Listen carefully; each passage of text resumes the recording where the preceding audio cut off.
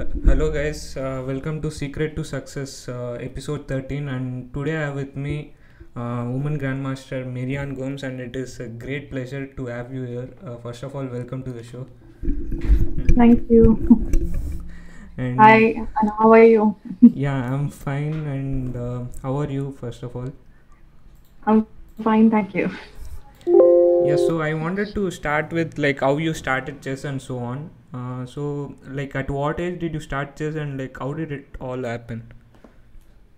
Uh, I started chess at six plus, and I started mainly because my dad used to play chess. My dad and one of my uncles they used to play quite regularly at home, and uh, I happened to show interest in the game. So I used to pester them a lot that I want to learn how to play the game and stuff. In the beginning he was not so like he didn't take me that seriously that i was actually seriously wanting to learn the game so he just kind of showed me some very casually how the pieces move and stuff and uh, it seemed like i had an aptitude for the game so from there slowly slowly it just it kind of naturally just began So you started playing chess at home, and then like um, like uh, what was the next step? Like how did you progress and so on? Uh, after I learned uh, in uh, at home for like uh, two or three months, he uh, enrolled me in Alekhine Chess Club, uh, Gorky Sadan. It was like one of the really well-known clubs in Calcutta. So I started over there. For I learned in Gorky Sadan almost for ten years after that. So because he felt it was very important to interact with other kids rather than just learning at home alone because uh, he felt I would lose interest sooner or later. And uh, like first of all, like many people don't know like uh, what to work on um, like exactly after starting chess and so on. So like uh, during the initial years, like what were you focusing on in in terms of chess? Like what were you doing exactly? Uh, when I started chess, uh, we actually started with a lot of uh, Paul Morphy games because I loved attacking chess. So I literally I used to see all these Paul Morphy games and I used to love them because there was always a sacrifice somewhere. and uh, we used to work on middle games generally, a lot of middle game tactics and stuff. And uh, openings were terrible. it was uh, I can definitely say I was really bad at openings. So I used to play like Colle system and stuff, very fixed openings. So not much to do. And um, mainly we used to focus on the middle game aspect. Yeah, and uh, since you mentioned uh, Paul Morphy game, like which is one of your favorite, uh, like one of your favorite games of Paul Morphy? it's actually been almost 20 years now. I think so. I used to see it when I was uh, seven, eight. so unfortunately, I can't give you names really. I just remember all the sacrifices on Bishop H7 and the Knight G5 sacrifice was one of my favorites because I played it in countless games of mine. So I can uh, say in my one of my state championships, actually, I had a very good uh, experience because it was. I, as I said, it, it was the first state championship I played after I joined the ga- game, and it was a, a really bad position. I was losing. I had lost my king, queen side pawns all, and uh, ultimately when I lost my a2 pawn and b2 pawn, then finally I was like, okay, leave it. Let the last one even go. I just kept setting up uh, this position for the bishop h7 sack. And ultimately, my opponent went and took the third pawn on c3, and I got this bishop h7 sack, and I was so happy to get it on my game. So I think so. There were moments like that that were really uh, memorable. Yeah, and like uh, like a lot of people play chess uh, for different reasons. Um, most of the successful players they play it for the love of the game. Some players play it to you know uh, to win the game and like they like the feeling of winning. So what was your uh, exact reason to play chess? Was it uh, to win the game or just uh, to have fun and so on? I'll say it was a combination of both because I definitely loved the game when I started and everything. It was, uh, I think so, the thrill of the game was very important for me. I loved attacking. I liked uh, coming up with these beautiful combinations on the board. But I also had a very competitive streak, so I hated losing. So for me, winning was very important. I think so in the first uh, maybe I'll say three to five years of my chess career, I probably had like three draws. It was either wins or losses, just like that. So I think so. It was very much a combination of both. So and like, uh, do you think it's the same right now, or uh, as your attitude changed uh, towards the game? Like, do you think differently now? Uh, I won't say the competitiveness is completely gone. It's of course, I think so. It's a very important part of our game for any sports person. I feel that you need to have the hunger to win. If you do not have that, you cannot really succeed. So, but at the same time, uh, over time, you have to uh, learn to even uh, accept your losses that come along the way because I have realized success definitely isn't a straight road. It does not happen. It's like a mountain. You keep having successes and you keep having uh, bad patches, and they can be really bad. Yeah. so you have to learn to accept the pluses and minuses and learn to, uh, you, you know, learn from your failures it's very important so i think so while i do want to win all the time but uh, I, sometimes you need to settle for uh, maybe a little less Yeah, and especially uh, people like who have this uh, competitive spirit and stuff like they have uh, they usually have uh, very high goals. So initially when you were starting just like what were your goals and so on? if i played a tournament uh, i always had this thing that i should win it. It was at least for the kids section whenever i played i always played for championship because i always felt that uh, i was even like brought up in that way that you know if you're going to play then you give it your all. You go for the best. And uh, okay if you don't win it then whatever comes along you have to after that accept it and work harder for the next event that comes but at the same time i feel you should not let it discourage you. Because that's a very important part of uh, being able to understand that just because you have not won it means it's not the end of the world. It will you'll have more chances you'll have more tournaments to come. And a win does not uh, really guarantee a win the next day.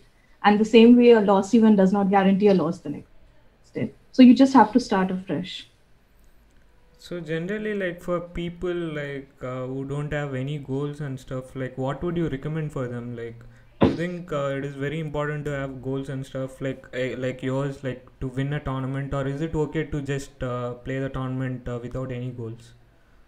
uh, I think so. You should have some goal at least, but it it's not necessary. Everyone has the same goal.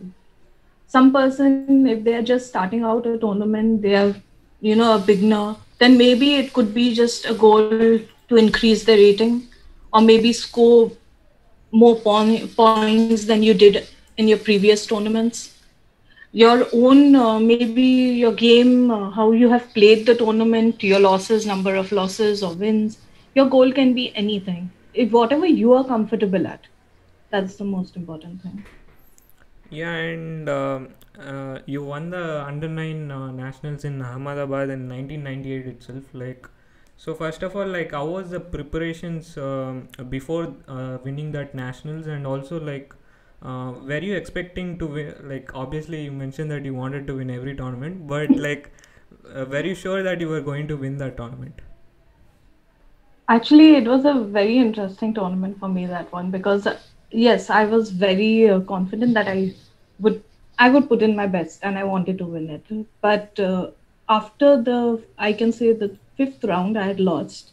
So I was three and a half out of five. And during those days, there were so many kids playing that dropping one and a half points in the beginning of the tournament was almost like there's almost no chance of becoming champion any longer. And I was very sad after the fifth game and uh, my dad decided it was like my, my whole family had gone for the tournament so my dad decided that okay you know your game is over you you're so upset and everything and i had i loved movies when i was a kid so he decided that i we would go for a movie as a family Just go watch a movie, have a really good lunch, forget about the game because what's over is over. So just, you know, get my mind off the game. And uh, after I like I had a really good day, which is uh, like you know after a loss it was uh, I was feeling much better after that.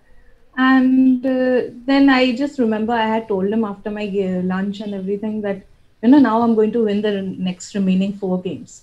Whether it makes me champion or not doesn't matter, but I'm going to do that. I'm going to win four games. And uh, after that, it was just one. We just decided to take it like you know one game at a time without the pressure of championship and everything just put in everything. And it actually was a very close call because i the last round Soumya was playing on the top board and because her game became a draw i became champion. So it was still the last moment it was like a touch and go thing. But uh, okay it turned out in my favor and uh, i was very happy about that.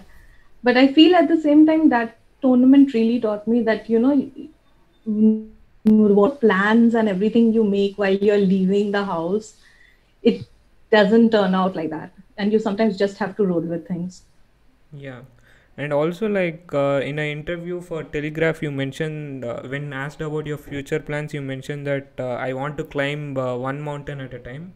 So like, uh, is this uh, philosophy? Uh, do you follow this philosophy generally also?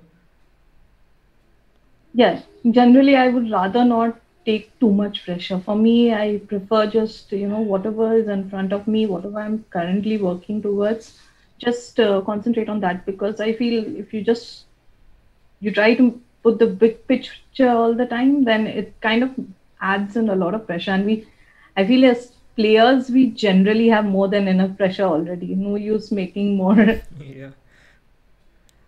And also like uh, like winning uh, like especially for me like i could not win age group nationals because of you know uh, this immense pressure.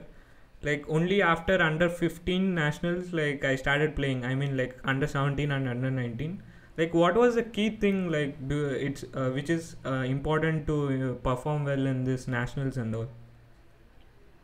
Uh, I've actually seen a lot of players that uh, in the beginning they probably don't uh, perform that well in the age group, and then later go, they go on to be very good players. So I feel uh, while uh, maybe one of the things from my side I felt was uh, my family was very supportive when we were kids. They could handle, I think, so a lot of my pressure and uh, you know bad performances. They kind of contributed towards handling it really well.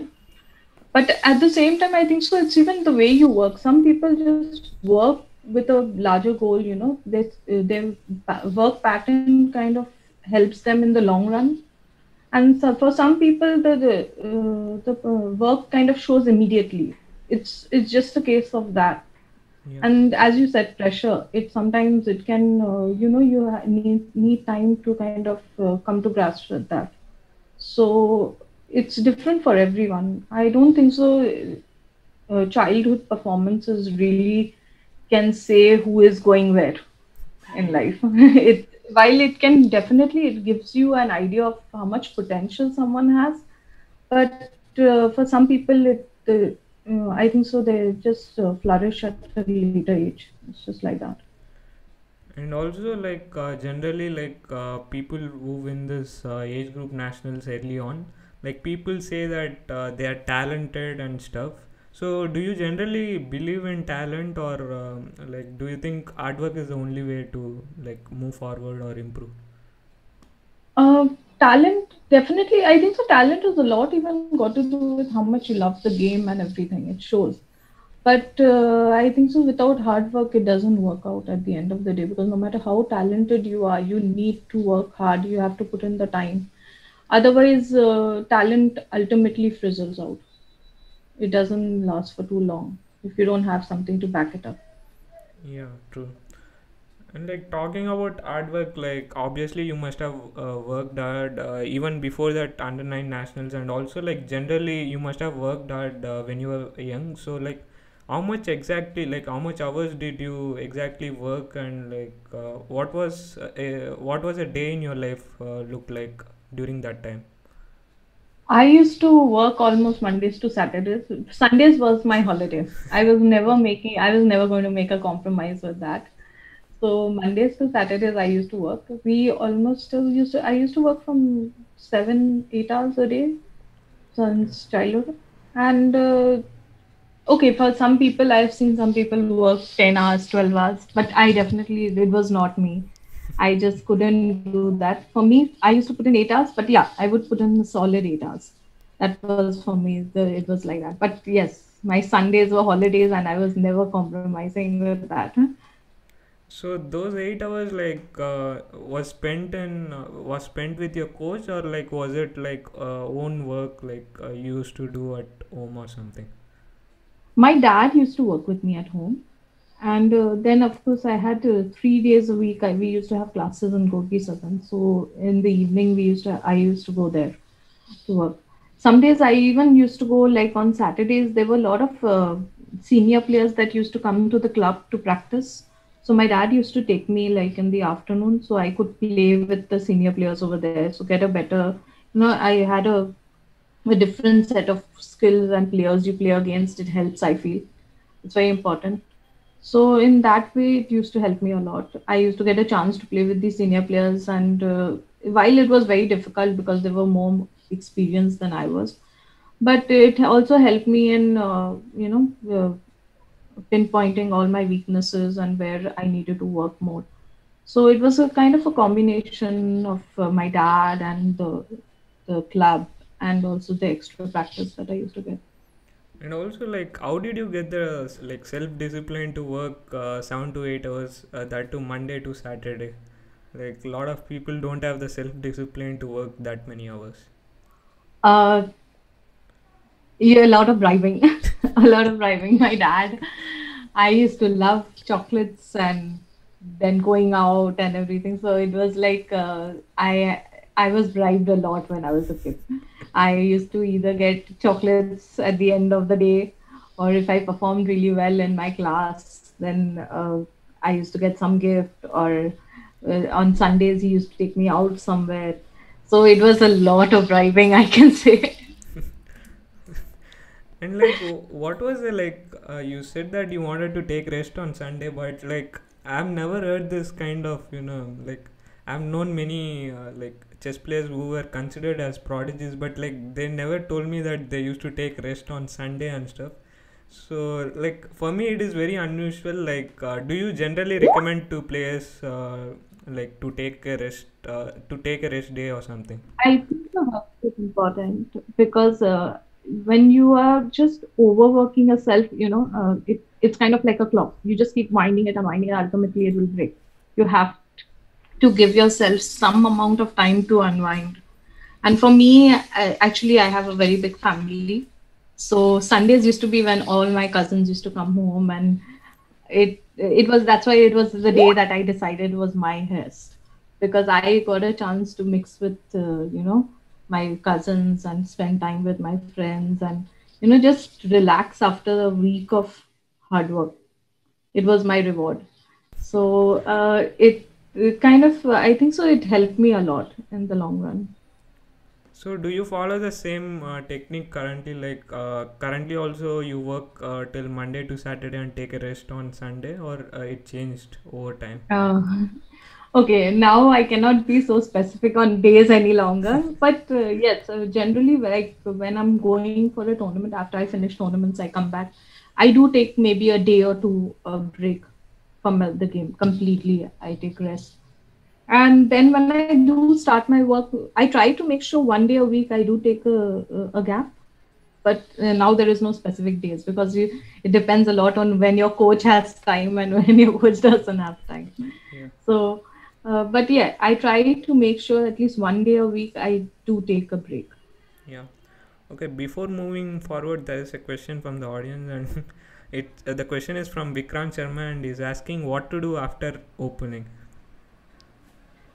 after opening uh, i think so this is something you have to assess or rather say your coaches whoever you work with have to assess what kind of a player you are because not everyone is an attacking player not everyone is a positional player so it's something they have to assess how uh, what kind of a style you have. And depending on that i think so you should work uh, you have countless number of books. You have Dvoretsky series and i think so it's one of my favorite the Dvoretsky series. So uh, i think so you can see that and uh, work on openings. And uh, like after your openings you can work on the middle game specifically to your style rather than trying to follow someone else's style. Yeah. you have to see what works for you. Okay and i want to you know now focus on uh, the attitude part. Like you mentioned that you want uh, when you are playing a tournament you always want to win the tournament. But when it comes to a particular game let's say you're going to play a round uh, today or tomorrow so what would be your attitude? Like uh, what would be your focus? Uh, before my games i uh, i try to i okay i don't work too much during tournaments. Like for me, at least, I have this habit is I try to stick to whatever preparation I need to do. Just the um, because you're of course you're working at home, so it should not be that you're having to do last moment preparation so much. So I just try to prepare whatever specifically whoever your opponent is according to that. But I try to keep it as uh, you know the load as less as possible. You know maybe a hour or two. That's it and uh, i listen to a lot of okay uh, you can say uh, music. I love music so i listen to music a lot during tournaments. Uh, sometimes inspirational music that helps you.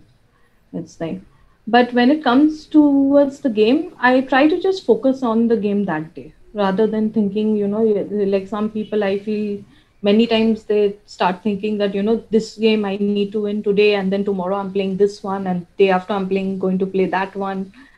Or i think so without doing that you just play one game at a time. Just go on the board try to give your best rather than thinking about what's going to happen on the fourth round fifth round sixth round from maybe the second round. There is no point doing that. As i said it's just one hurdle at a time. Just cross that yeah and like uh, yeah focusing on one game is fine like uh, but like uh, on that game like do you try to your goal would be to win the game or would uh, your goal would be to play good moves and uh, you know focus on the chess part? When uh, i think so you should play according to the position. Whatever you get you uh, have to judge on the board. Like of course when you're starting the game everyone tries to win but uh, somewhere along the thing uh, game you have to learn to judge for yourself whether the position is a you know it's something you can win or you need to settle for a draw. And uh, i think so you should just focus on what the board position tells you. You play according to that. So if the board says it's a draw then you just have to accept it and get up yeah and oftentimes okay since i also play a little bit chess but like uh, sometimes uh, we don't have that uh, objectivity and we sometimes try to win even in a drawn position or uh, or vice versa like um, like whatever like uh, different circumstance. But so generally like um, how to keep how do you keep yourself objective and you know play the position and so on? Uh, generally actually this is something that I've seen a lot of people suffer from like it's uh, we want to win so much that we cannot see that you know that there is nothing more on the board. And of course, I've also had this problem. It's not like I've never faced this. I've also done the uh, no, I have to win against this player, and especially it happens when you're playing a lower rated player, you kind of take it for granted you have to get this full point, which is I don't think so a good attitude because uh, if someone is playing well, you have to give the due but it's unfortunately it's something that just happens sometimes. So but generally i try to think of it as this way that if it's in the middle of the tournament rather than uh, possibly trying to find a win and ending up losing because after that it's a lot more difficult to come back. It's better to settle for a draw and uh, then you know if if you do after that just play again you just play normally because if it's the last round and the same situation happens where you have to win to get something or get into the top prizes or the championship or something then yeah you can uh, i think so you can go an all out situation. Yeah. Because after that there is nothing more. But as long as there is uh, the tournament is still going on and there is always a chance for things to you know go your way if you make a comeback then why should i throw away everything just trying to win one game? And then have to make up for that again later. Yeah true. Uh, but again like uh, when you have that uh, attitude and like general that way of uh, playing but uh, sometimes you know we lose uh, like when we end up making a draws like sometimes we feel bad for not playing well or you know for missed chances so generally how do you deal with those kind of situations uh, where you play a bad game or you know or generally a failure uh, failure of a game Uh, I think so. It's something that comes a lot with experience. It's because in the, I remember childhood, I used to take it very hard when I used to have a bad game or something. And uh, I remember my father used to say that there is no point thinking about what's past. If it's over, it's over. You, it's not like you thinking about it and making yourself feel bad. You're going to get back that point. That's not going to happen eh, but you will spoil the next few games that are there in front of you and then you'll be crying over the next four games that you have lost rather than the one that you lost so if by letting it go and you know putting it behind you you're actually doing something good for yourself because you can now just concentrate on what's there to you know what you can salvage in front of you. And after the tournament is over you can go back home and cry all you want. Nobody's stopping you any longer. So it's uh, i feel in some ways when i was a kid that uh, attitude that was drilled into me that while you're playing your tournament you need to kind of stay focused on that rather than what you have lost and what's past uh, was very important. And over time it kind of became a part of my uh, you know chess career that i had bad losses.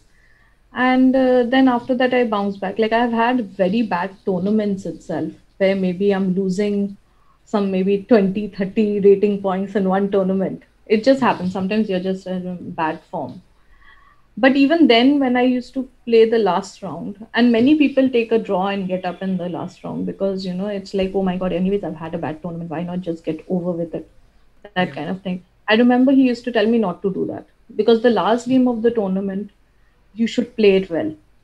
Because also if you're gaining just one point from that event that's still okay. If you're getting one point you're making up that's even worth it. Just go you have to have that mental toughness that you will stick it out till the end with the same attitude of having to win. You cannot let it be that okay i'm giving up on this tournament yeah. if you have gone to play there you play till the end with everything you have had. And if you, after that you want to take a break don't want to play maybe two months next that's up to you. Yeah. But as long as you're at the tournament you have to uh, play with the same mental attitude that you started the tournament. Yeah, a question related to that would be like uh, some people, uh, you know, withdraw during the tournament when they're playing very bad, and also, yeah, as you said, uh, some people just give up and uh, make quick draws. So generally, what do you think is the remedy for that? Uh, I think so. Withdrawing from a tournament, tournament unless you're sick is unacceptable. I'm sorry, means I know everyone has a different uh, approach to it, but for me, I feel it is unacceptable. No matter, like a lot of people say that no, if this tournament I withdraw, maybe the next tournament, maybe your rating is very important because you have some tournament in front of you that you you need your rating intact for. Yeah, but i think so at the same time it's kind of in a way giving up. And today maybe if you uh, play seven rounds and you have a bad tournament and then you leave the next two rounds and you withdraw slowly it will become on the fifth round and then it will become on the third round. So it's uh, i think so it's something also it's kind of a lesson in mental toughness and you it feels bad. It feels terrible. Sometimes sitting at that board after you have lost four games or maybe three games maybe even while playing the game when you're seeing it's going down. It's like complete torture to just you're like why doesn't my opponent just play the best moves and win already so i can get up? Yeah, you know that kind of a, this feeling you have.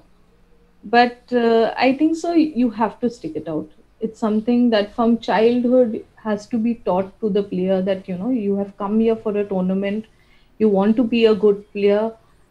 They all the good players have had bad times and everyone has made it because they could uh, mentally you know uh, they toughened up and they managed to get through this. So if you want to be a good player then you have to learn to accept the good and the bad. And you have to stand there and you have to you know you have to weather it. That's it So generally, like, how did you develop this mental toughness? Uh, did you follow any, you know, some people do uh, meditation and stuff, uh, and also like, uh, like generally, how did you develop this mental toughness? i'll say when it comes to actually not withdrawing from tournaments it was uh, it was my dad it was my dad because i remember when i probably it was on my third year of playing chess when i played one of the it was one of the state championships that i was playing. I started out very well.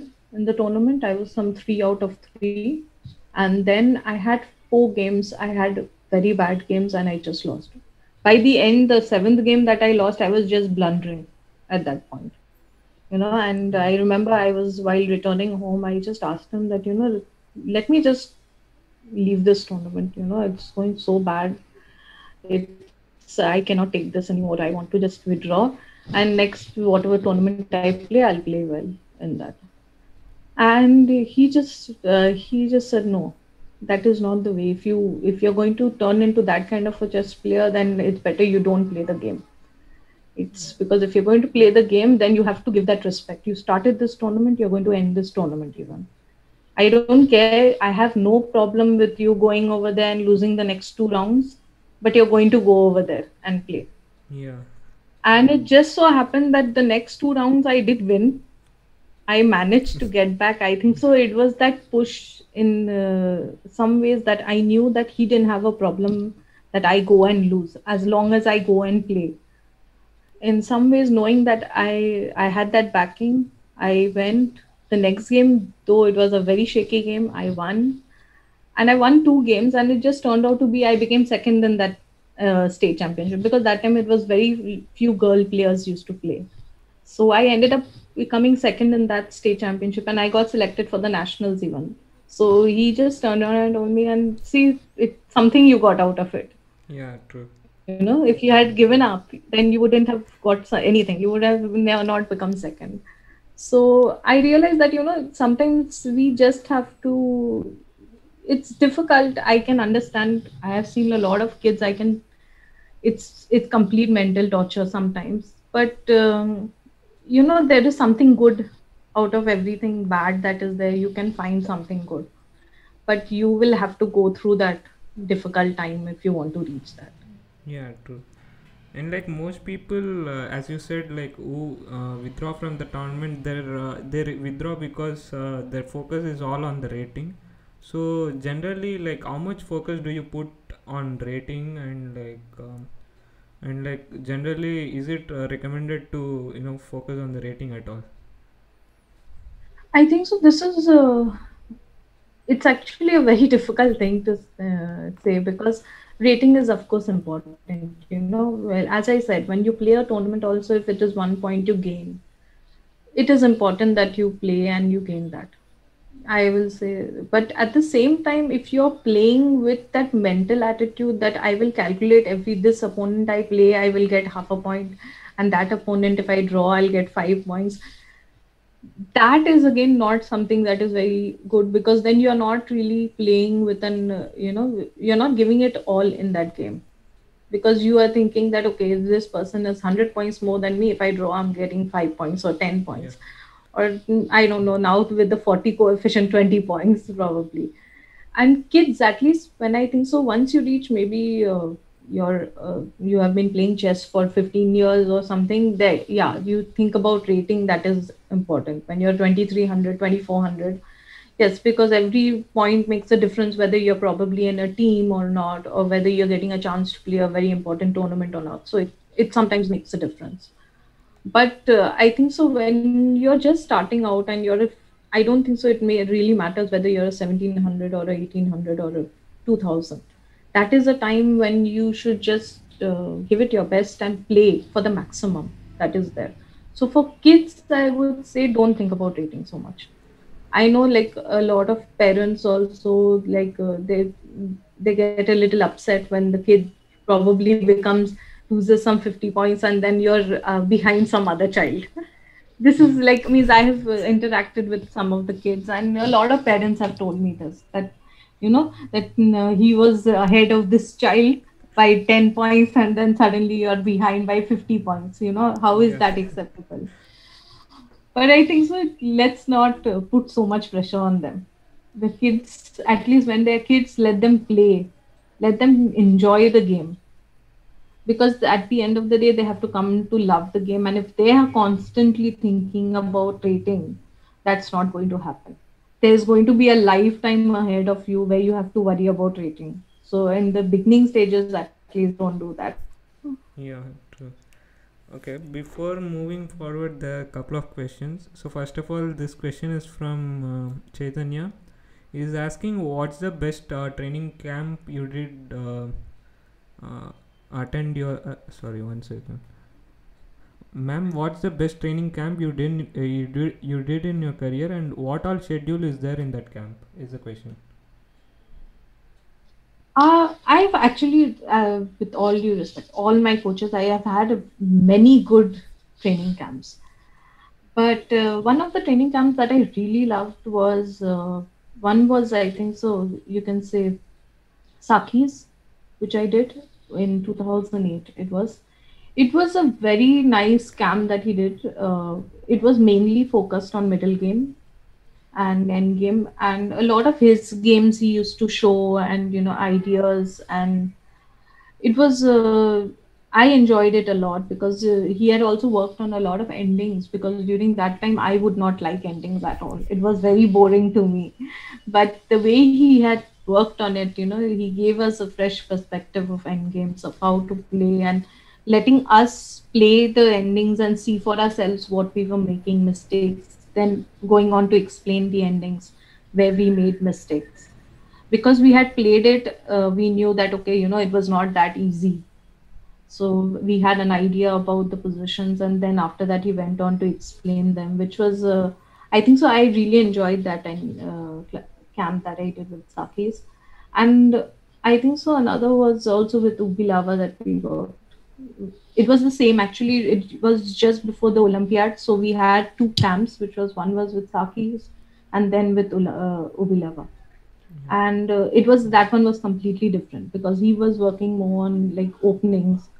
And uh, i would not work much on openings during that time so it but he also the same thing he did was he worked on openings in a way that where we were we kind of he was he was uh, doing the openings and we had to find moves from our side to just justify whichever line we are playing. After a certain point we had to work on our own like we had to play games and show what we understood of the uh, opening which was uh, in in one way i enjoyed it because it was more of a practical way of learning than just mugging up openings because I somehow I cannot do the whole mugging up thing. I need to understand what is being taught. So for me, being able to play games and uh, maybe in some ways finding ideas on my own, also if sometimes they were wrong and later was explained why, I found that to be quite useful for me. So these were two uh, camps that I really enjoyed because there were two areas that I would generally not work on. Yeah. So it helped me a lot that way.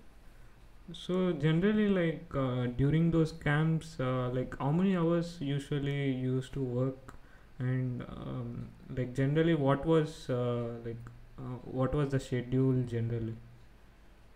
Uh, generally, we used to have a morning uh, session for like three hours, three and a half hours, and then again an evening session for another three, three and a half hours.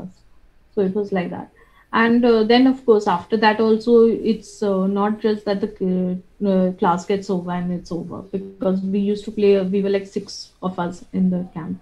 So we used to play blitz and maybe, you know, fun, whatever uh, openings we had done or positions we had done. We used to play on those Yeah. for ourselves. We used to think. So it was kind of fun during that. And then, of course, we used to even play bug house after that for fun's sake. So it used to kind of go on like that, the thing. So, but it was around maybe you can say seven, eight hours a day. Yeah. And um, yeah, and uh, there's one more question from I am Siddhant Mohapatra, and is asking what is your most uh, memorable uh, memorable uh, moment related to chess? I think so. There were just so many. I think so. Every time you think that, you know, this is the most important moment of your life, but uh, it, it just turns out there is something more. But uh, I think so. I would say playing at the Olympiad the first time when I played, or the, I'll say the second time because the first time was actually quite bad for me. I played like three games and uh, I was very disappointed with my performance. But the second time when I played the Olympiad, I realized it it was so much more. Means, you know, you get to play at a place where you're seeing the top players play. You actually get to interact with the top players and you get to see how they approach the tournament, you know. Yeah. It was uh, kind of an eye opening uh, uh, uh, situation and a tournament for me. And then I'll say the second one was when I played in the Women's Olympia, the Women's World Championship, which was in uh, 2015. I played, and uh, it was a different feeling playing in the Olympia, the uh, World Championship because uh, I have played so many tournaments, but the atmosphere in that tournament is something else. You suddenly realize, you know, you're in such an it's such an important tournament. It's somehow very different from every other tournament that I have played and you know everyone over there that you know you finally realize wow these are professionals Yeah. you know like we think we are professionals but when you're there you suddenly realize oh my gosh they are professionals and the focus and everything that you see in the players it's uh, i think so a different uh, feeling altogether Yeah. And if And I think yeah. so- sorry yeah, yeah, you can go on. You, were- you were saying. uh, and I think so. One of the, I'll say achievement wise, I my third national A when I won it, I was very happy because uh, it was like you know I that tournament actually the pressure that you talk about I felt it because uh, I had won two nationals. I had actually not even thought about the whole hat trick, you know, the third national thing till I started reading it everywhere, you know, that this time you win it, you get a hat trick, and uh, it's like it happened in Kolkata itself. So there was a lot of expectations, you know, while playing in your hometown. And uh, I think so, that was probably one of the most pressurizing tournaments I probably played. But when I won it, uh, the feeling was great. Yeah, and also you mentioned Olympiad. Like, if I'm not wrong, you won both prize also. I think silver medal, if I'm not wrong. Yes, I won the silver over there. So No, generally, unfortunately, because the team didn't win a medal, uh, while I was very happy because I had performed really well. It somehow, you know, in team events, if your team is not really performing the best, it kind of takes away from the uh, individual performance. After all, at the end, the team is what matters. yeah, true. And also, you were uh, captain of the Indian team uh, recently in Asian Nation Cups, uh, which won the gold. So, like, uh, did you get to give any motivational speeches to the team members? in some ways, uh, all of them are very experienced players. That was one thing that all of them have played a lot, and uh, I, I, you, I do not need to say motivational speech as such, but I did feel like that if at any point they needed to speak to someone, I tried to make sure that I was there. So if they had any problems or any kind of, uh, you know, it just happens that sometimes team the pressure can be too much. Sometimes you you play badly. Generally, if you play a bad game, we ourselves feel bad. But when it's a team, it's so much more because that time you feel like you know you're letting down the whole team. Yeah. and that is something you know th- that you need to sometimes i feel you need someone to be there that tells you that it's okay. You know that everyone we have made our mistakes in all team championship that we have played. We have had our fair share of you know bad games and everything. And it is okay. Your team does not feel that way that you are letting them down or something that instead they want you to just go and play the way you generally play because you're just a good player so I just wanted to make sure that I was there if they needed that. Yeah, as you said, like uh, when playing for the country or something, like there is added pressure and so on, and like uh, even the most uh, mentally tough people, like uh, they break uh, they break down when they are like representing a country or you know in extreme uh, situations. So generally, like um, as you were as you played in Olympiads and also being the captain of the Indian team. So how do you generally deal with those si- situations? I actually was very tense this Asian. I, if I'm being honest, because uh, I have played a lot of team championships. I've gotten used to, you know, that good game and bad game and all that stuff. But at the same time, being a captain, I have never been a captain in a team championship before this, and uh, it was a very different uh, experience. But more than that, I realized that uh, being the captain, I had to make sure that I myself was not nervous and I was not, at least it should not show. Because the thing is, I need to be there for my team. If I am going to, and I had full confidence on the players. At least that was one good thing I always felt is that I had full confidence on all these players because I've seen them individually as players. I've seen Padmini since she was a kid. I know on her best day she can literally win against anyone. Same for Bhakti or Nandhidhaa or Vaishali. Vaishali is much younger, but of course her performance speaks for herself. Yeah. So it's, uh, I think so. All of them are great players. It's just about making sure that all of them perform on the same day.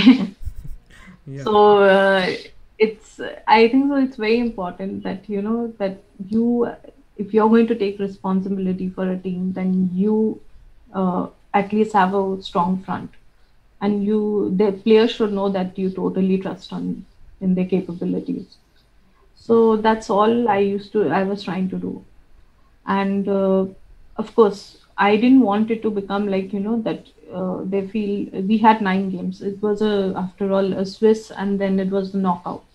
So we had more than enough cushion that you know you just play well. And if you get in also into the knockouts that's good enough. You win it we won it uh, in the swiss. Even we came uh, we were at the top position. But if that didn't happen also we were still our main goal was to get into the knockout. So and that's very important that you make the team understand that that is the goal at the end. Like Yeah. you can have bad games but you have to make sure that that at least you get into the knockouts. So you should not lose sight of that at any point. And of course in the beginning if you're winning then all is good and well. It's i think so then you just play on normally. There is nothing to Yeah. worry about and like i want to now focus on the you know ro- routine during the tournament part like um, like in moscow like we were playing cricket at night and uh, like at least myself i was not looking at uh, much so generally like what uh, what is your routine uh, routine during the tournaments? Uh, does it differ to tournaments to tournaments Uh, more or less, I as I said, I work maybe some two hours or so only during tournaments. I don't put in too much thing. It's mainly you just analyze your games, so you're not making the same mistakes. And of course, if you once you get the pairing, you see who you're playing and you prepare. But uh, mainly, I uh, try to uh, have a light uh, thing. Like I see, a, I see a lot of I think so you know, comedies during tournaments just to keep uh, you know a light-hearted uh, uh, attitude during the tournament. Some people I I don't know each person is different. For me is I like seeing comedies during the tournament or I read I read a lot. I I anyone who has stayed with me can say that I love reading. So it depends. I read a lot during that thing but I try to make sure the most important thing is that I don't think about the game much. Because I feel that the more you uh, think about it, the more you kind of build up a pressure that is not there. Because it's uh, suddenly you realize that you're only thinking about oh my you're even dreaming about it the next day. Because I have had this when you're playing a very crucial game the next day and I've seen dreams about my next game what is going to happen that time I know that oh my god, I'm really in a freaked out situation now. So I try to keep uh, an attitude where I don't think about the game too much till I have to go at the board and play. when I'm at the board, yes, I have to play with full concentration, and there is nothing in the world except that board. But uh, when it's my free time, I'd rather not think about the game too much, so that I don't just add a, lot of pressure to myself. Yeah, since you were talking about books, like what kind of books do you read exactly? Uh, it depends. I uh, sometimes read uh, uh, motivational books. I like reading motivational books. Then uh, maybe autobiographies. Sometimes I just read short stories on the net and stuff that you get. Uh, maybe mysteries. I like mysteries, so I do read a lot of mysteries and stuff. But I I have never been uh, like uh, the genre is not really so important. As long as I can get something interesting to read, I am fine with it. Yeah, and like uh, okay, some people like they follow strict uh, you know sleep uh, sleep schedule. Like for example, during the tournament they sleep at ten and wake up at five or like whatever. Like uh, they follow a sleep routine. So generally, do you follow any such kind of uh, sleep routines during the tournament, or it's just random? Uh, this is kind of, uh, I'll say nowadays I follow a very strict routine. I try to sleep early and get up early because, especially, I try to make sure I get at least eight to nine hours sleep during my tournaments because it can be quite uh, taxing. But yeah, uh, for a while in the middle, I was had a very bad schedule with my sleep. I used to sleep uh, maybe one o'clock, two o'clock during the tournaments, and I used to have morning rounds sometimes even but I will not recommend for the people who are seeing this. Please do not do that. It is not a good habit. But uh, but I yes, today I will say that uh, people should uh, have a good uh, sleep. Uh, I think so schedule. It depends a little bit because sometimes we have our games in the afternoon. So it's uh, sometimes if you sleep even 12 o'clock and 1 o'clock, it's fine. But then you have to make sure you still get in the nine hours or eight hours at least of Yeah. sleep. So you're well rested. If you're someone who prepares a lot before your games in the morning, then I would say that it's better to sleep early and wake up early so you can prepare all you want but uh, it depends from person to person but i would say at least make sure you get in uh, a full rest Yeah, true. whichever way it is Yeah, and now I want to move on to you know the chess part and stuff, and uh, I wanted to start with uh, end games actually. I remember I played a game against you in Kolkata, maybe 2013 or 14, and uh, uh, you played this Reti opening knight f3 c4 and stuff. But i still play it. Yeah. And uh, okay i was winning but at the end you managed to uh, trick me into a drawn end game. And after the game uh, i was like it should be winning. No i was asking and you was uh, you, were, you told me that it's a theoretical drawn end game and i was like what is it really a draw i was uh, i had that kind of face and stuff? So generally uh, i thought okay all these big players must have been uh, you know thoroughly um, like they know the stuff uh, really well i thought. So generally how did you develop this end game knowledge theoretical end game knowledge? I would say end games i actually started working on i'll say after that olympiad. Like i told you during my camps that we did a, a lot of endings. Uh, it was mainly after a lot of camps that I started doing, I realized these uh, top GMs, they used to stress a lot on endings because mm, I remember many of my coaches, at least the foreign coaches that have taught in uh, the camps, they used to say, you know, you just take Indians into the end game and uh, that's good enough. You'll win your games. You don't need to do anything. Because there was a time when we used to focus on middle game so much that our end games were completely neglected. I won't say in today's uh, uh, chess scenario because today actually everyone is learning the middle game, end game, opening quite uh, in a balanced manner, I'll say. But there was a time when uh, we used to love our middle games, we loved our combinations, but the moment it was something slow and boring, and then you you see you're sleeping in class, it was like that.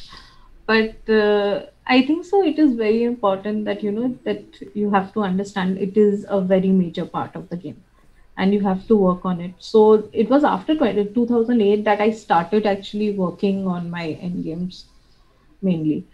And for a while, I realized that actually it uh, it helped me a lot, especially in the open tournaments that I started playing, where I was facing GMs and IMs. I actually started getting better results because of that. Because uh, to games that uh, I used to just uh, think that maybe were just lost. I slowly started realizing that I could manage to pull a maybe a draw out of a completely lost game, as you said, or maybe even find a win in a very slow game, which I was not being able to get in the middle game. So the I think so with uh, uh, as I saw the success after playing slow chess and uh, end games, I got even more uh, encouraged to work on those parts of the game game. But I'll still say I'm far off. Means I still need to work on my middle end games so much more. Because I the more I interact with the higher players, the more I see that they have so much, they know so much. Just looking at a position, they can tell you that this is a draw, this is a, a win. And uh, I think so. It is a never-ending uh, lesson Yeah. you can just keep uh, and i find it fascinating in some ways that somehow a rook ending which probably has only four or five pieces on the board can be so much more complicated than even a middle game uh, you know a board full of pieces so it's kind of very interesting to see how uh, you know that even when you think things are almost over there is still so much to be uh, you know discovered So so i keep just working now So, like for uh, personally, I feel end games are very boring, and I find it hard to you know work on those. Like, so generally, how did you, how did you get the motivation to work on it first of all? I think so. The best way for learning something is to play. I uh, like a lot of my coaches. What they used to do is just maybe set up a position and uh, then let me play for myself. Because the moment I realize that it's not so simple, my hunger to learn how it's done I think so increases doing that because uh, when I as long as I think this is something simple, I'm not so interested really. But uh, the moment I can see I'm losing every time I try to defend a position, ultimately I want to know how it's done. Yeah. True. So I think so the best way is always the practical way. And uh, then of course if you learn in a tournament, uh, it's it's something I think so that sticks the most because any game I think so that I've lost in a tournament, I will never forget that. It's like that because I think so that somehow it feels a lot more bad. But I would recommend it's better it's done in practice than in some tournament. So I think so the best way to learn is to play. Just play, experience for yourself, and then once you understand something, you just uh, you learn it for lifetime. Yeah, true. And uh, like some people, uh, like uh, they classify end games into you know uh, theoretical end games and also practical end games. So, do you think like working on theoretical end games also helps our you know general end game play, or do you think we need to do some other work in order to improve our uh, like general practical end game play? Yeah, there are some end games actually that uh, I have, I can say recently even I've been seeing that uh, you literally, there is no other word for it than to say you have to memorize it.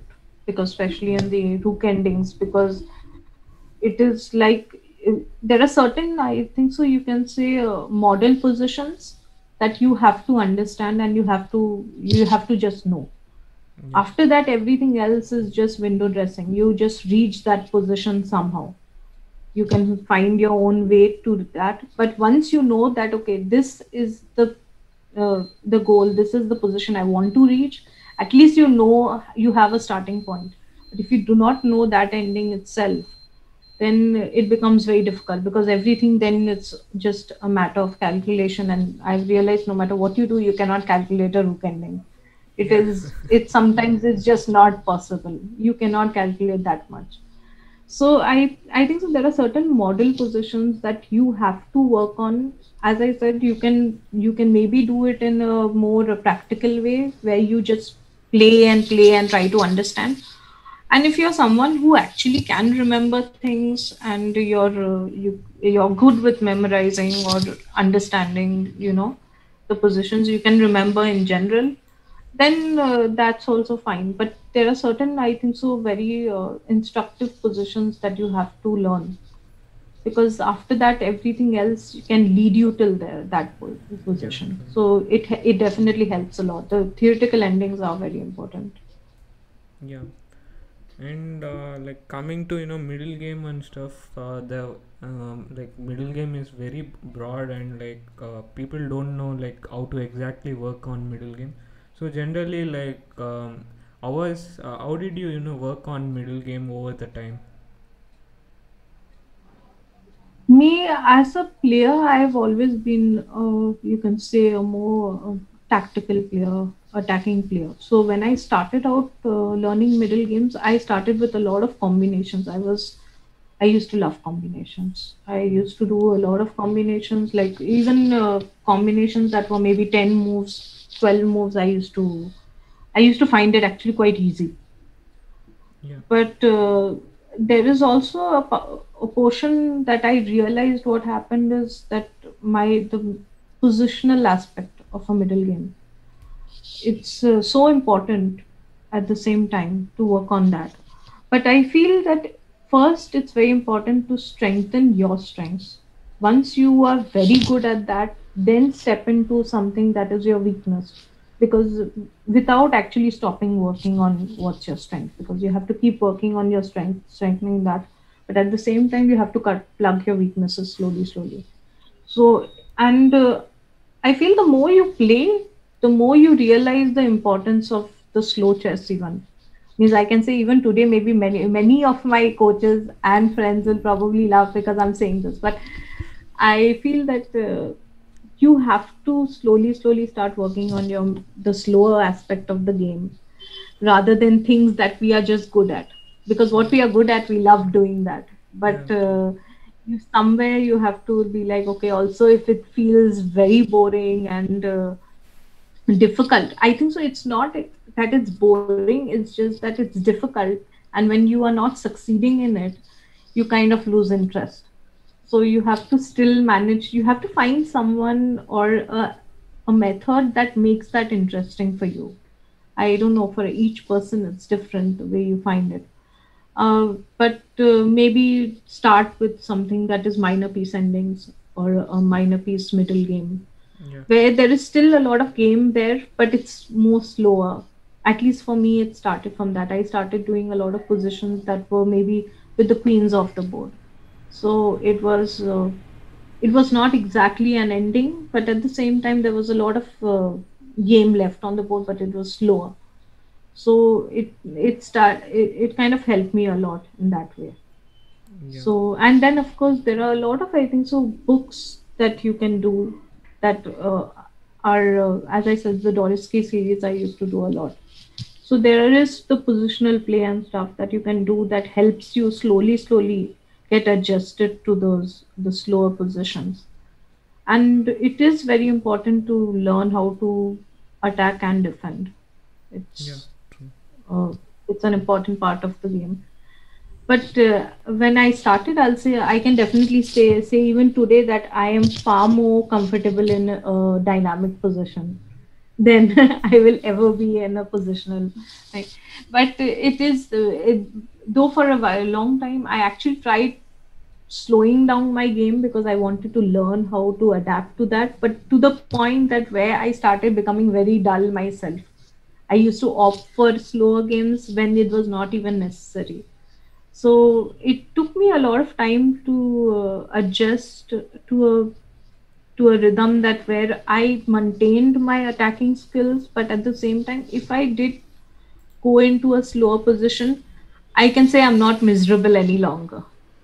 I can Yeah. at least man, I won't say I'm very great and stuff because it's still a long way, but uh, I can definitely say I'm not going to be in a miserable state any longer. So it's it's a, it's a learning process. Yeah, and you mentioned about you know strength and weaknesses. So generally, yeah, you said your uh, strengths were uh, dynamic play or you know attacking play. So generally, like for someone who don't know like what their strengths and weaknesses are, like how to find them exactly. Uh, I think so. Uh, analyzing your games, it definitely helps because in some ways, I feel you just in some ways uh, you know what you're comfortable at when you're playing. Yeah, I think so. It shows like there are some positions you're just comfortable at, and uh, then there are some okay as you have uh, some players that are not exactly overly attacking that will go all crazy attack and stuff. But at the same time you can make out that they are not exactly slow players either. They prefer maybe building their position slowly and then going into something attacking when they are sure that their piece position and uh, you know that everything is at the maximum best position possible. So maybe they are not rash attacking players, but they are still attacking players, I would say. They're always looking for something, some initiative or something uh, active at the end of the day. So it's, uh, I think so, you know when you're comfortable in a position, but if it's still something that you are second guessing or you're not very sure about, it's always fine to have a second opinion someone who can see your games and uh, give you an honest judgment about the situation.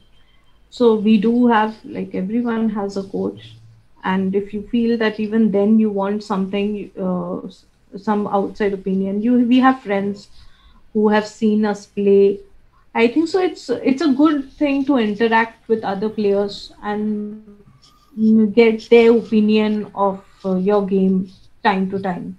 It gives you a fresh perspective. So Yeah. its interaction is quite good Yeah, and also like analyzing the games, like uh, there are many like opinions and like there are methods. Uh, like some people recommend not to use engine at all while analyzing a game, and like there are people like uh, who recommend who recommend to use the engine and like just analyze like that. So what is your general like? How do you analyze your games? Uh, do you use an engine for analyzing a game? I actually don't use engines at all. I've never been very comfortable, and uh, I think so. At one point, when I did started using engines for a while, I felt my own game kind of. I got very dependent on it. Like every position, I used to check unless I was checking the engine and the engine was telling me that position is good. I myself, I was losing confidence on my own assessment of the position. So I felt for me, I prefer not using engines but yes, it's not necessary that you do not need to check. You can always have maybe your coach checking the engine for you to see that you're not uh, making uh, just blunt because sometimes position is just minus and we don't realize it because it's complicated. So then you can always have someone else who is working with you check for you know reference or check whether you're not making some silly mistakes or straightforward blunders but i feel if you're going to analyze a position i think so it's better to analyze on your own because there is a lot of positions that the computer recommends where you can play. Yeah. but uh, humanly it's not possible. It's very complicated. And uh, unless you can handle the board position uh, during the tournament on your own, then there is no, you know, it doesn't matter whether it was plus minus or it was minus plus. Because I have had a lot of situations where my opponent comes next day and says, "Oh, you know, I was winning that game. You played this move. It was really bad, and I, I was completely winning." The computer said it was plus this much, this much, Yeah. but uh, at the end of the day, it could have been plus five or whatever. But uh, if you can't handle the position on the board, then all that is meaningless at the end. So it's better, I think so, to work on your own uh, rather than just depend on the comp. But yes, after a certain point, when you are comfortable in your game and you know very well, and I think so, more than that, uh, you're kind of confident on your own approach to the game. Then I know today's in today's uh, chess, you have to be able to work with comps. You have to because everyone comes with home preparation that is probably 30 moves and 40 moves but uh, I think so. Those players they have reached a stage where they don't second guess their opinion or their assessment of a position. Yeah. So after you have reached that stage when you're 25, 50, and 2600, and you are completely confident on your own abilities, then you are checking with comp. It's fine. But when you're uh, someone like like at least for me, I would say a 2300 or so, I would rather just first right now just depend on my skills and work uh, as you know approach a position more humanly possible and uh, you can as i said you can always have your coaches check up the line so it's not something obvious mistakes being made Yeah. on the exactly. your analysis Yeah, and now I want to move on to the opening. Uh, like in this interview for Telegraph, uh, like you said that you have moved, uh, you have uh, like changed academy from uh, Goodricke National Chess Academy to Dibyendu Sir, uh, Dibyendu uh, Sir's Academy, and um, uh, in the interview you said that uh, you have broadened the repertoire by playing C4, D4, E4, everything. So generally, how Yeah. did the like change happen? Like, what was the work you did uh, with Barua sir? uh, actually when i joined Barua's academy uh, it was uh, it was not really for openings or something like that because he himself is known to be a very natural player and he had helped me a lot in uh, my middle game and end game from that way because he had given uh, he he is known for his uh, over the board natural place play. So uh, he actually helped me more mostly with my middle game and end game after that. But uh, at the same time there were a lot of like also other students that we were we were working in a group more or less. So it was like four of us or so. And like that everyone was playing different openings. So we were working on different openings together so i rather than just limiting myself to one opening i started playing different lines that if others were working on to see how i was fitting you know how it suited my style. And uh, slowly slowly that's how i kind of broadened my uh, repertoire. And i think so a lot of that was because i was not finding anything that was whilst Reti was very suitable for me it was just one line Yeah. and slowly slowly i started realizing you couldn't just play one line. You needed something more because everyone was coming prepared and after maybe one game or two games once your opponent knows what needs to be done it was becoming very difficult to find something on the board all the time. So i wanted to have something new and it was more like i was trying to find what was i what i was comfortable in. That's the reason i was playing different openings at that point. So it and it gave me a good idea for different structures because i was doing a lot of uh, uh, i was going through books with different pawn structures and stuff at that point. So different openings had different pawn structures which was helping me also uh, like in a practical way to the things that i was learning at home. So it was kind of a combination of all that So generally, like having a broad repertoire is uh, okay. It's uh, easier to say, but generally, like uh, uh, we need to check all the lines. Like a lot of work need to be done. So like, how do you manage all that? Like checking all the variations and stuff. Actually, the truth is, uh, opening wise, I was never someone who would play 30 moves from the book. It's never happened. It's it's probably if you are only playing Sicilian as the only line when I do that because it, there is just no other choice. But uh, generally, when I used to play uh, from white side, that I was playing c4 or knight f3 or maybe even d4 at some point it was more i used to uh, work based on positions like a position that uh, is comfortable for me just analyze that and then play. It was rather than maybe mucking up 30 moves. So it was uh, it wasn't like i had to uh, spend so much time on the opening part because i used to try to find a uh, uh, a position that i was comfortable in. And mostly i actually played over the board with ideas just mainly based on ideas positions that i wanted to reach plans and stuff just like that rather than uh, analyzing a b c d e amount of moves Yeah. because I never found that uh, comfortable for me. I think so. I as long as I knew the ideas and the plans of the position, what I was actually aiming towards, and what my opponent's ideas were, that I needed to stop. I felt like I was always more comfortable playing over the board and coming up with plans on my own. Yeah. So that's why I think so. In one way, it didn't take me so much time, but uh, at the same time, I can say it made me very lazy when it came to my opening preparation. I would say it was very subpar because of that. But uh, and today's, I think so. In today's chess, that is one of the main uh, things that uh, I have been working on, main uh, aspects of the game that uh, I have been trying to cut down because uh, I think so. In today's uh, chess, you need to be a lot more direct. You need to have a much more better, uh, you know, understanding of a position in a more direct manner that uh, where your home preparation is much better. Yeah. True. You cannot just go and play uh, like you can go and play a position based on ideas, but today everyone is doing that. Yeah. So you need to know it much better in a more in-depth manner. Yeah. And also, one of the things mentioned uh, in this uh, interview was that uh, you used to try this new openings with your playing partners at that time, who were uh, the Grandmaster Deep Sengupta, Grandmaster Arghyadip, uh, sorry, Arghyadip Das, and also uh, Bitan Banerjee.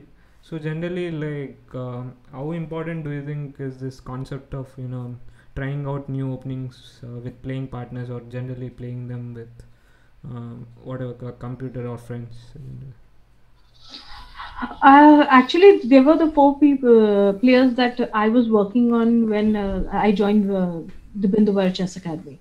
So a lot of my new openings were thanks to them. Uh, I think so. Playing partners are very important, and I think so. It's good to have at least a set of four people with different styles, different uh, approach to the game, because you need a little variety. Uh, you need to feel, see how everyone uh, approaches a certain position. And uh, if you're having just one partner, sometimes I think so.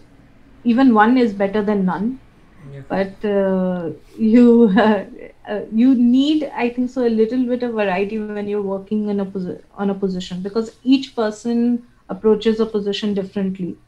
And it gives you a much more clear uh, idea of the position when you're working with a lot of players. And i think so uh, practice partners are very important. I think so whoever you can analyze a position or discuss i feel even a general discussion of a position in a tournament when you're discussing a position with your opponent you can suddenly realize there are so many more things that maybe you thought and they had a different approach to it. Yeah. so it's it's actually nice to analyze positions with you know different people so you get a different uh, uh, approach to the position and uh, assessment. So i i i prefer working with people different uh, practice partners. It's always helped me most. So generally, like while playing uh, against uh, playing partners, like um, like what time control uh, do you use? Like, do you play blitz games or uh, is it rapid or uh, classical games? Uh, we actually the blitz used to be a lot less. It was more of uh, maybe uh, playing something like during that time it was like 25 minutes maybe with uh, 10 seconds or maybe 15 minutes with 10 seconds where you're getting uh, because we what we used to do is we used to work on certain openings so till a certain point all of us actually knew the opening or position. After that after you have reached a position maybe that is critical there we used to decide that okay each of us will prepare at home find our own ideas and then we'll come and uh, play practice match on that position. So uh, after that uh, we used to take maybe 25 minutes 10 seconds or maybe 15 uh, minutes with 10 seconds or something. It's more of a rapid approach because we knew what positions we were playing and we were already preparing for that at home Yeah. so uh, and then of course then you it depended on like you know who has prepared what and then exchange of ideas of what we have seen or what why we decided to play the moves that we decided to uh, you know play So it was, uh, and then again, once everyone has played, analyzed those games, and then you know the most uh, uh, accurate idea you can say in that position that we felt. Again, you work on that from there, Yeah.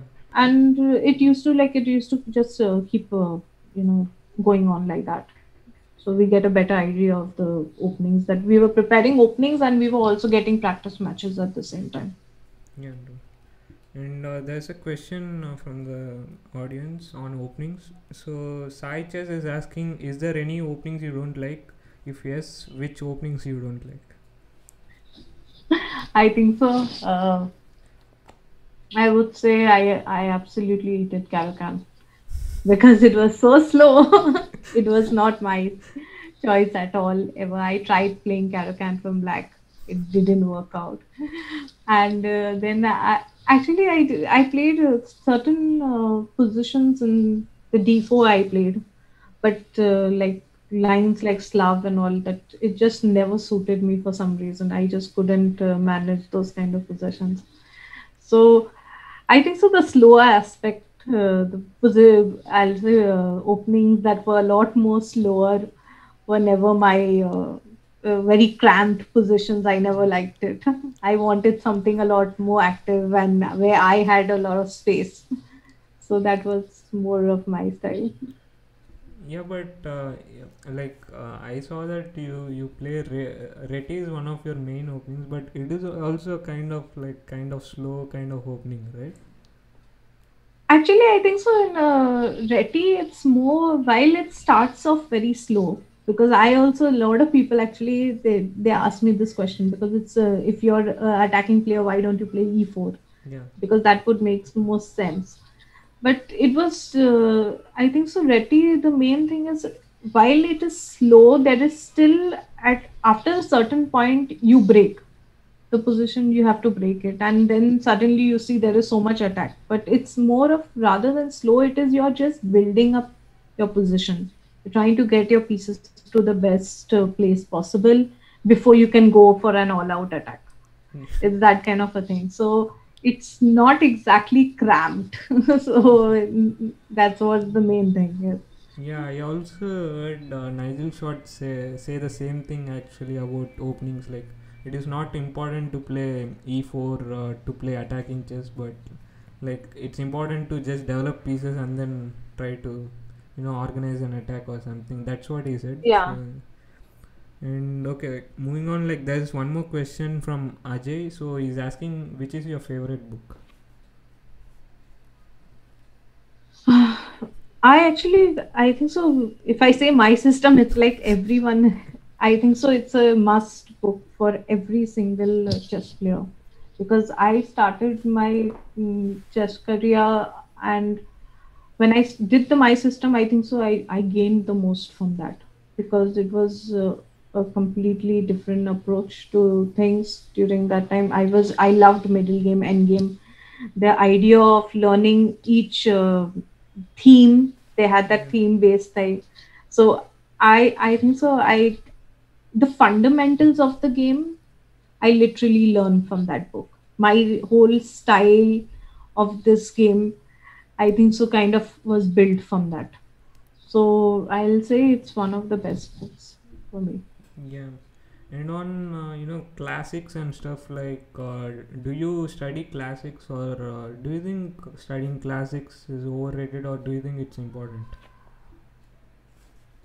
I think so. It's something that's very important that I have lacked actually a lot. I'll say means I ha- I see games, but I have never actually I've seen uh, a lot of people's games based on themes. Like maybe if I'm doing a certain theme in a uh, middle game or end game, then I have done it. Yeah, But I have never actually gone through games based on players, like this player's style or l- learning someone's games really. Except for I think so Bobby Fischer at some point because I had done his 60 memorable game, so I had actually kind of gone through that really thing. But I think so it is very important because I think that is something I am doing today. Yeah, because it can uh, it you can literally when you reach a certain position today i realize is that when you reach the position you can suddenly say that you know this position is this player's speciality. And because you have seen that person's you have studied that person's game so much that you just naturally know what to do in that position i think so it's it is very important to understand the classics and study them it's uh, i think so it's something that should have uh, kind of been a ritual from childhood which okay i'm doing now but uh, i i think so it's better late than never Yeah. And uh, okay, now I want to focus uh, like fully on your career wins and so so on. So first, I want to start uh, again. Like I want to go back to 1999, in where uh, you won this Asian Youth Championship again in Ahmedabad. So do you think like Ahmedabad is, was a special place or still is a special place for you? And uh, like uh, please express the you know feelings and uh, you know feelings during the tournament and after winning the tournament. Uh, I think so. A lot of places were very special for me because one of them was Ahmedabad, but uh, I had extremely great uh, tournaments in Chennai also. So I used to love going back to those places. I used to consider it. Uh, maybe I was a bit superstitious back then, but uh, I used to feel very happy going back to the same places and playing. So, but okay. Um, on a more serious note, the, the Asian Championship that I played in Ahmedabad. Was uh, I think so one of the most comfortable tournaments I played because I had a very comfortable I think so lead from the beginning. It was one of the few tournaments I can say where I was not uh, trying to catch up from the back. so uh, it's uh, it. I think so. I never really thought about it so like you know that this is the first station I played, so I have to do very well or something like that. I just went with the same approach that I always play. The tournament was there. You just uh, go, you enjoy, you uh, you give it your all. Yeah. It was always about matter is that you when you sit at that board, you give it your all. After that, whatever happens, as I said, you have to accept. But uh, it uh, I think so. Even I had that feeling back then because it was the first time I was representing India Yeah. it felt really good you know to be playing for the country. It, it somehow it's different when uh, you, that feeling. So and i think so that was also a very big part of it when i played the first asian. Yeah, and uh, uh, next in 2001, like this, still I cannot believe, like you are just, I think, 11, I think maybe 12, and uh, you're playing this national juniors and you got second place. For a 11 year old uh, girl, like uh, it's very unusual to get second place in like much higher category tournament. So, how did you manage that? I actually didn't think about it. Means I later a lot of people told me that you know it was a very big success. Means you know coming second in uh, an uh, high age group like under twenty.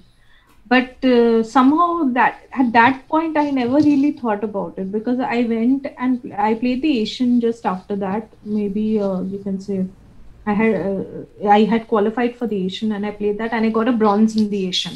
So I was 12 that at that point. But somehow it never really struck me as uh, me doing better in a higher age group. I never really thought about it that way. For me, it was like I was just playing there and. Uh, they were they just they, the the opponents just the age varied that's it. It didn't make much of a difference to me. And i think so a lot of that uh, was contributed because i uh, during when i was playing the nationals actually harika won that national. So we i had someone else of my age like she's she's younger than me. And uh, who was also playing at that same stage so it never seemed so strange that you know that at 11 you're coming second in the national under 20 because there was someone else also who was almost the same age and they were winning the national under 20 so i think that was not something that really played in my mind as such So but uh, generally, like, uh, what was the like uh, before the tournament? Uh, you were like again, you wanted to win the tournament, or this time it was different, a little bit, because it was Uh, a higher category.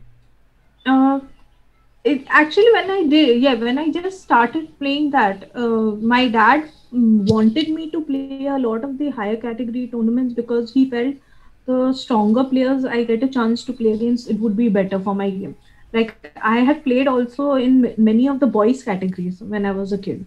I played the under 15 boys, and uh, it was more like about uh, becoming a stronger player as a chess player. It's it's about improving as a player Yeah. the like of course the mm, the success or the mm, performance is a part of it of course we don't want to play badly in a tournament and uh, but uh, uh, mainly my uh, whole motive of playing the tournament was to play well and uh, the players that I was playing, their resistance was more than, of course, the category. So it was how well I could match up with them. yeah. It was that kind of a mindset that I had entered with. And as I said, I used to play for win. It was always, it didn't matter whether my opponent was uh, elder than me or stronger than me. For me, I needed a win. I had to play for the maximum. It was like that. So I, I think so. In some ways, it was good because uh, I feel you should always be confident in, in yourself that you can win no matter who it is. If you don't at least have that much confidence in yourself, it's kind of you're kind of giving up 50% of the battle already. Yeah, true, true. And like in 2005, you finished your WIM title by winning Asian Under 16 in Uzbekistan. So first of all, like how happy were you like completing the title and also by winning it in a great fashion? So how was the feeling overall? Actually, that Asian that I played was probably the worst conducted Asian I had ever played. we were just glad the tournament was over at that point, to tell you the truth. Uh, I was very happy I won it that Asian because I uh, I, I had uh, like uh, there was a long gap between the Asian under 10 that I won and then the Asian under 15 that uh, 16 that I won because that was I think so 2014 uh, 2004 if I'm not wrong so it was a, a kind of a major success after a bit of a gap Yeah. and uh, I was kind of feeling a little uh, like while I was having performances on and off, once here, once there, but it was not somehow I was feeling like I was not really being able to keep uh, uh, consistency in my performance. Like some tournaments I was playing great, like the under 20 that I came second, and then I might play the next tournament in the nationals. When I played, I probably came some 25th or something. So it was uh, i was not really having much of consistency. So this uh, three tournaments that i played in 2000 uh, sorry 2005 it was uh, i i kind of consecutively played really well in all my tournaments. And i think so that was more important to me than anything else that finally i was being able to have some consistency in my tournaments. Of course the asian i think so any asian national i think so state championship open it doesn't matter which tournament it is you win you feel great. It is there. And uh, for me it was just that it was just the same feeling that the the rush of winning a tournament it was that kind of thing it i think so it, it really doesn't make so much of a difference which tournament it is i just i think so it's more that you win it it's that kind of thing Yeah, true. so Yeah, and uh, coming to Asian Juniors, I think uh, they can even rename it to your name. I think you have won that many times. You have won in 2006, 7, and 8, if I'm not wrong. And like, how did you manage uh, to win like three times in a row? actually that was like it was more necessity than anything else because uh, during that time the the national the asian champion used to get a chance for the world juniors and uh, we didn't have much of the concept of donor players at that point we, it was very less that you would see someone going donor for a tournament Yeah, so it's somehow it turned out to be that every time I played the national, I came second. I just never won the national juniors. uh, because uh, I think so twice or thrice it was Soumya who won it, and uh, once I think so Bhakti was the one that won it. So it for me it was like I have to win the Asian to go for the World Junior Championship. So it was kind of more of a necessity than anything else. It just turned out to be that it happened three years in a row. I would I would come second in the national and then I had to play the Asian and I, I knew I just had to win it. I actually used to be playing that tournament so desperately to win. I have never played any such tournament because I knew that it was the only way I could reach the world, uh, world juniors. Yeah. So I think so that was probably the best motivator possible for me. Yeah. Yeah, and uh, and also like uh, like national championship, you have won I think four times if I'm not wrong. So four Yeah. or three, I'm not sure, but okay. So generally, like every time you win, like do uh, like do you feel anything new or uh, you're already used to it uh, that it feels normal currently, like if you win it. I think so. I can say this for all players. We work very hard for the tournaments that we play, and everyone is like when you're playing towards the goal of championship, you give it everything you have, and when you win it, you actually feel that satisfaction. That that very moment, it's not just about winning the tournament; it's the satisfaction that I have worked so hard for this, and I finally achieved it Yeah. that kind of thing. And when it happens even the second time, it's kind of uh, second or third time. It's uh, it's the feeling that the, you know the first was not a fluke. I have actually done it again. So it's not just good luck or something. So that definitely is uh, an immense satisfaction. But I think so after a day or two, again that feeling goes, and you're just back to normal after that because you know you you just uh, because the next tournament comes and uh, nobody really cares whether you won the national or not. Everyone is just instead it's more like everyone is at him sitting to win against you even more. So I think so you have to kind of put it on you know the, the sh- uh, back burner and just uh, approach the next tournament with a new you know just start o- all over again that you know you're just playing this tournament and uh, rather than thinking what performances you have had in the past you just uh, play it normally. That kind of thing. But definitely the feeling of winning a tournament especially like when i won the nationals because it was the senior women's uh, like that is the highest in the Yeah. national for the women. It was uh, it was it was a great feeling and uh, the, as i said the third one was very important to me because it was in my hometown. I had the added pressure of uh, you know my whole family was here. My whole like as i said i have a big family and everyone was like you know generally they don't uh, keep up so much with what is happening. But uh, that time everyone wanted to know you know that you're playing in kolkata how's your tournament going? My dad would call up or this one's called up asking what happened to your game so the that added pressure was there. But and uh, when i won it i think so more than me being happy it was seeing how happy they were Yeah. with my performance. So that i think so was the most important thing. So that tournament definitely i can say in some ways was uh, it was quite pressurizing for me. And i think so that what made it even better in some ways Yeah, so if we had to choose only one of those three national championship, you would definitely choose the 2013 one, right? In Kolkata. from a chess player's point of view i would say the 2011 because i actually played very well in that tournament um i i think so my performance overall i feel was uh, undoubtedly i played some very good players i had some very good wins and uh, i felt it was most uh, clear cut win of a national for me. The second one uh, that i had was uh, i think so you can say was touch and go kind of thing. Because i started off it was just normal like you know normal start was not great or anything but just normal. And uh, then i had a very bad middle uh, whi- which uh, I I was sure that I was not winning that tournament, I was nowhere going to be. I was. I didn't have a chance even. You can say Yeah. it was like that.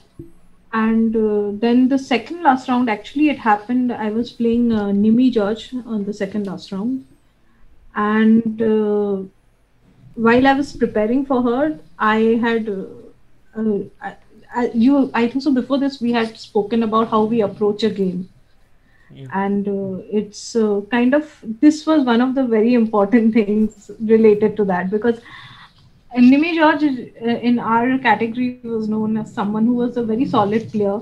Getting a win against her was quite difficult, and uh, overstretching. A lot of people have lost against her doing that.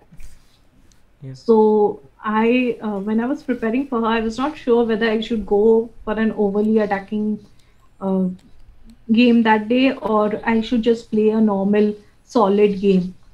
And I remember I had called up my father and I had asked him that, you know, you know, this is the case that I'm playing against Nimmy George and I'm not very sure what to do. Should I uh, go for something very rash? or uh, because if I go for something very rash and I lose means I'm completely not not even in the top six because during that time top six we used to at least get tournaments abroad. It was like that. So and uh, if I uh, if I go for the solid line, most likely it's going to end up in a draw or something like that. So he just asked me, "What do you want to do?" Means, if is there a chance for you to win the tournament if you there's a draw? I said, "Of course, there is no chance for me to win if it becomes a draw." So then he just told me that uh, second and tenth makes no difference. Yeah. So either if you want to play for championship, you I'm just there. I'm standing with you. You want to play, that is your choice. How you want to go about things. But uh, second place and tenth place makes no difference. When you go for a tournament, you get your maximum. Yeah. You should not feel scared to try for the maximum. So, and after that, if okay, you go you go out of the six is fine. It doesn't matter.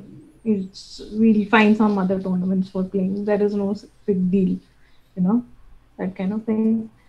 And uh, I decided that time to prepare for uh, a very attacking game. It was an extremely attacking game that I played and I won against her.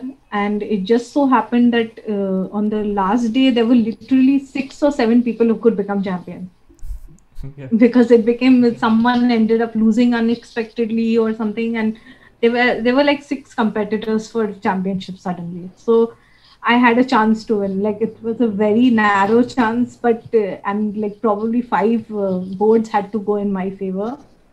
But uh, I just went, played my game, won, got up. I didn't even see who had finished, what games had happened.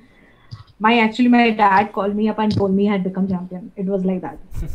so it was but I think so. If I had not at least given myself that chance, if I had not, uh, you know, at least tried for the best, the maximum, then that wouldn't have happened. Yeah. True.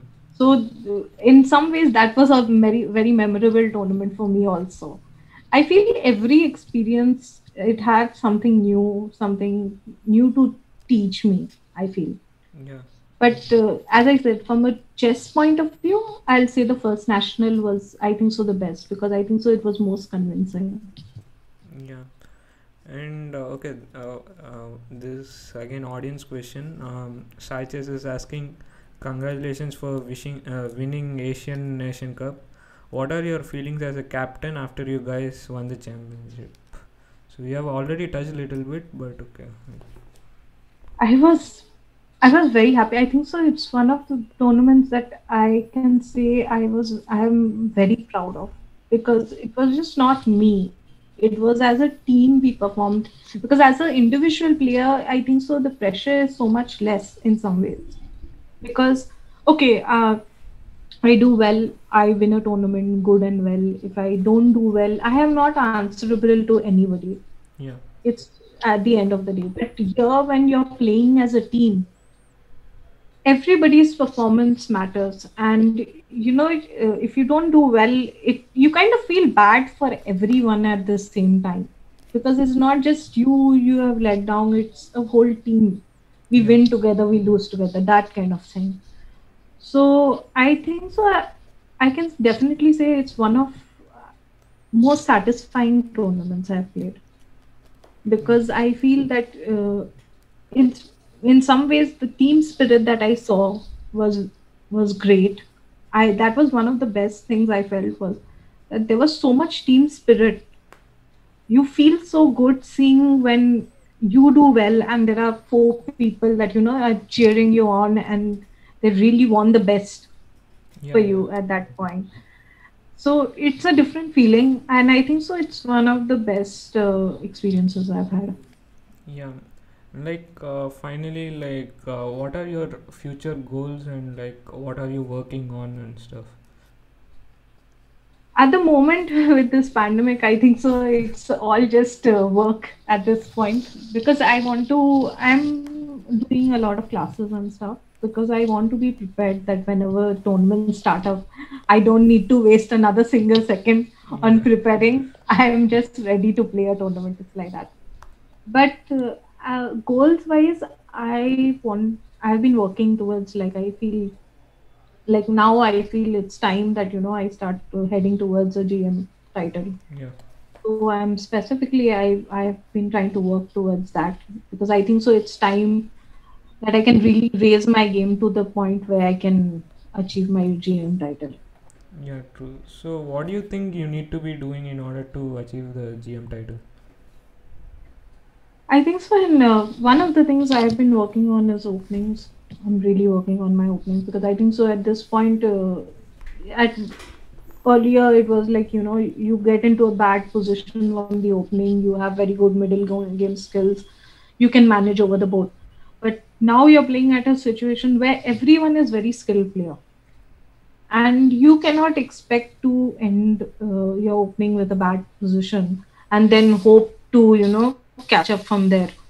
It's just it's kind of it would be just stupid to Yeah. do something like that. So and everyone you if you're going to go for a gm norm then you're playing against players that are highly skilled in every area of the game. So i think so one of the main things that i'm working on is my opening that i don't end up in bad positions for my opening. Uh, as I said, my middle game I have been working my own attacking skills. I think so. While I do believe I'm a good um, attacking player, I still recently, after doing a camp itself, I have realized there is so much more left to do on that aspect. I think so a lot. Uh, uh, you know, I think so when it comes to middle game is as I said, the slower chess or rather say the defending skills is something that I need to work on a lot because it's not always that you will get a position where you're the aggressor. So it's uh, that is also an aspect that is very important and I need to work on while simultaneously working on my end games also. But uh, mainly i think so i'm just like focusing on my openings at this point seeing as the, i think so it's it's the one area that is lagging behind completely Yeah.